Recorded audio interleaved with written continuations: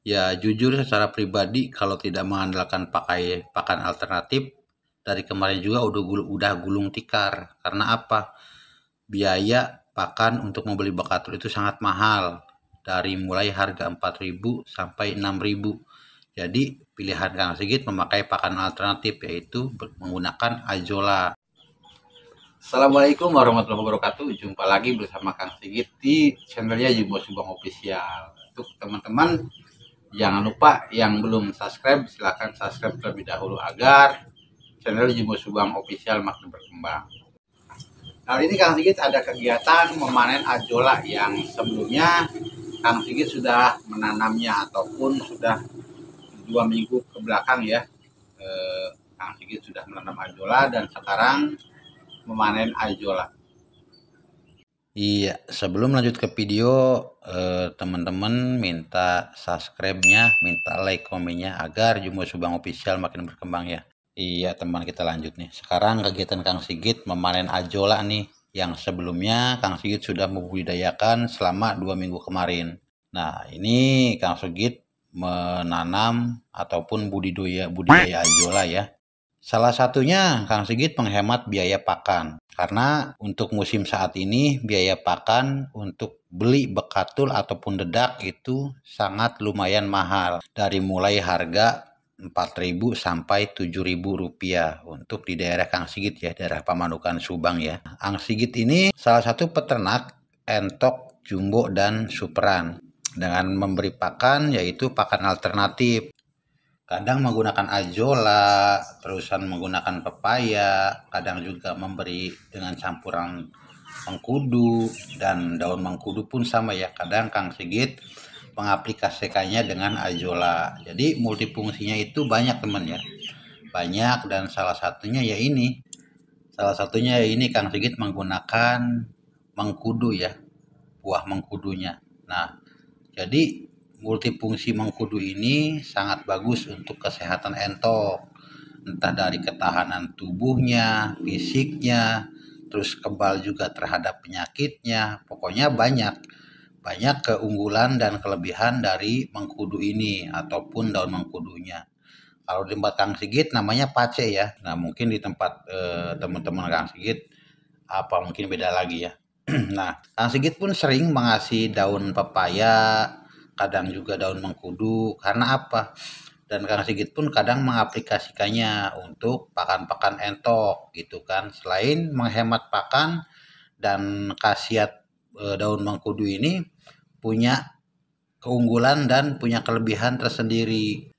Ya jujur secara pribadi kalau tidak mengandalkan pakai pakan alternatif dari kemarin juga udah gulung, udah gulung tikar. Karena apa? Biaya pakan untuk membeli bakatul itu sangat mahal. Dari mulai harga 4.000 sampai 6.000 jadi pilihan Kang Sigit memakai pakan alternatif yaitu menggunakan ajola. Dan apalagi sekarang musim musim penghujan teman ya. Banyak peternak ataupun petani entok, peternak entok, peternak ayam dan peternak lainnya juga mengeluhkan tentang cuaca yang untuk saat ini yang setiap harinya hujan terus pagi hujan, malam hujan, jadi selalu dipenuhi oleh hujan. Jadi kalau kita tidak menggunakan ya tadi semacam kayak mengkudu, terus daun mengkudu, mungkin entok-entok banyak yang sakit ya. Jadi kelebihan mengkudu itu kurang lebih seperti itu. Nah, kita kembali lagi ke ajola.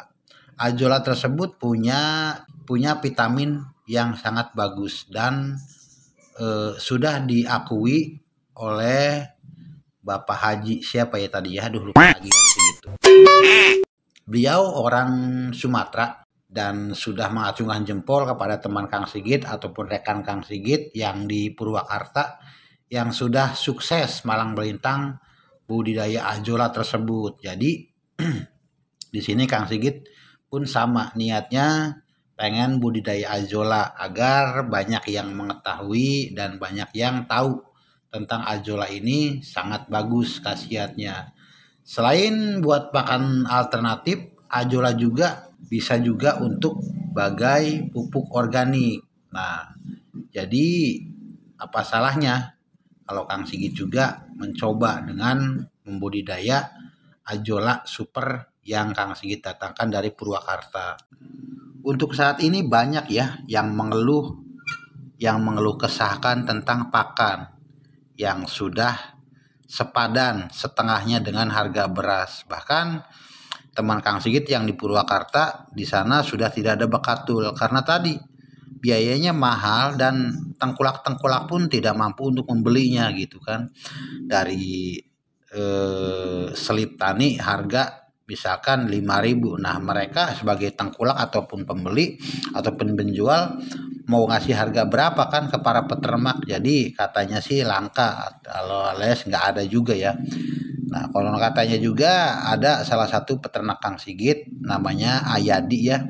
E, beliau salah satu dari Purwakarta juga peternak entok yang menggunakan pakannya yaitu apa itu namanya tuh semacam buat sapi jadi sentrat apa itu namanya tuh sentrat daging atau apa nah jadi eh, pakan alternatif mereka selain dengan eceng, ajola, ya tadi dicampurnya dengan pakan sapi tersebut. Nah, jelasnya sangat berbeda ya. Cuman eh, untuk saat ini Kang Sigit masih berhubungan sama beliau-beliau yang di Purwakarta eh, gimana solusinya dan mau kayak gimana ini ternak-ternak entok kita kan bulan sekarang itu bulan puasa ya, mendekati hari raya lebaran identik dengan entok itu mahal. Nah, di sini Kang Sigit pun sama menyiapkan betina jantan yang sudah Kang Sigit pisahkan ya.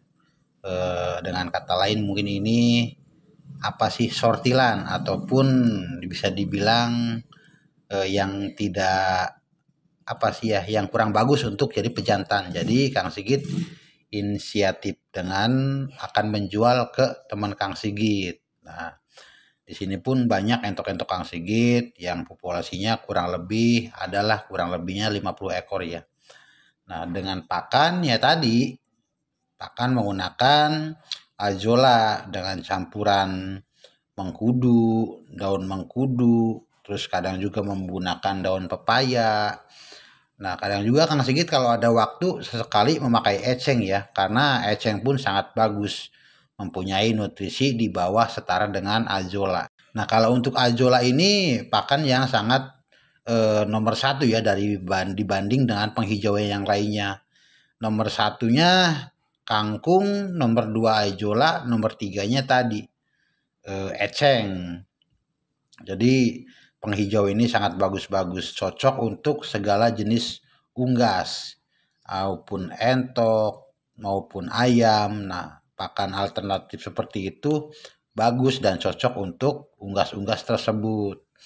Nah, jika teman-teman yang ingin budidaya azola bisa dibikin kolam ya. Bisa dibikin kolam media menggunakan plastik bisa, bisa menggunakan dengan terpal bisa, gimana teman mau mau budidayanya seperti apa. Nah, kalau Kang Sigit di sini memakai plastik ya, memakai plastik dengan ketinggian kurang lebihnya 30 cm dan kelebaran hanya memakai 2 meter setengah dengan panjang memakai 4 meter. Dan apa ya dan sebelum ditanam azola pun eh, sudah mengasamkan airnya. Jadi eh, si ajola tersebut begitu ditanam sudah bagus dan cocok. Mungkin ini sekedar masukan ya dari Kang Sigit di, untuk di musim penghujan sekarang. Kalau teman-teman istilahnya entok-entoknya mau sehat, entok-entoknya selalu sehat setiap paginya tidak ada yang sakit dan tidak ada yang muyung. Alangkah baiknya jika di sore hari teman-teman masukkan ke dalam kandang, entah itu kandang uh, apung ataupun kandang koloni yang penting jelasnya jangan diumbar. Karena apa? Untuk di musim sekarang musim penghujan ini bener-bener ekstra penyakit gampang da, gampang banget uh, datang ya. Diawali dari kehujanan terus kedinginan lalu ya tadi muyung air kemudian mati. Dikasih makan pun tidak nafsu kan beda halnya dengan entok yang sehat-sehat. Eh, selalu nafsu makannya tinggi, pola nafsu makannya tidak berkurang. Bahkan biasanya porsi kita bikin 12 kilo, bahkan sampai kurang. kita bikin 14 kilo sampai 16 kilo untuk per 50 ekor. Dengan menggunakan bekatul hanya 3 kilo teman ya. Selebihnya bisa digunakan dengan eceng ataupun kayambang. Kalau Kang Sigit pribadi memakai ajola. Mungkin segini saja masukan dari Kang Sigit, eh, pengalaman Kang Sigit. Semoga apa yang Kang Sigit sampaikan, apa yang Kang Sigit berikan menjadi motivasi untuk teman-teman Kang Sigit, khususnya untuk peternak entok ya. Dan Kang Sigit pun meminta maaf, mohon maaf sebesar-besarnya apabila ada kata-kata yang kurang baik ataupun kurang sopan. E, istilahnya di sini Kang Sigit hanya memberi saran dan memberi motivasi untuk para peternak semuanya, khususnya di pemula ya. Di pemula yang masih-masih mau belajar, semangat terus belajarnya. Jangan patah semangat apalagi di musim sekarang pakainya mahal terus langka juga ya. Mungkin segitu saja ya. Terima kasih. Salam ternak, ora ternak, ora kepenak. Assalamualaikum warahmatullahi wabarakatuh.